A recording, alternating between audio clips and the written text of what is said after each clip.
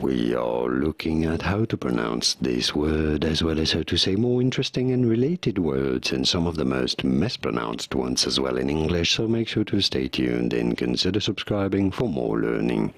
How do you say it? Well, there are at least two slightly different ways of pronouncing this. For sure, it is not Celt. In British English, this is normally pronounced as quelt, quelt, with a clear E sound, quilt. In American English, however, it is often pronounced as quilt, quilt, with more of an uh, uh sound, quilt. In American English versus quilt in British English. And now you know. Did you get this? Could you hear the difference? Was this any helpful?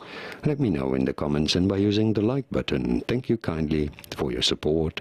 Here are more videos on how to pronounce more interesting words and names whose pronunciations aren't always obvious. I'll see you there to learn more. Thanks for watching.